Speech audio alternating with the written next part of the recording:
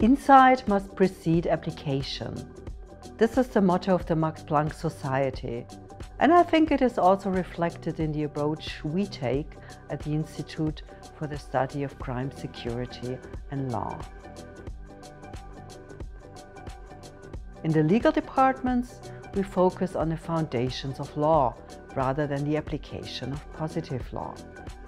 In criminal law, the foundational issues are what type of conduct should be prohibited? How should we evaluate criminal wrongs?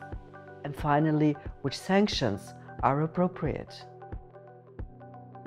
In today's societies, which are facing increasing political, social and cultural fragmentation, we must pay renewed attention to these critical questions.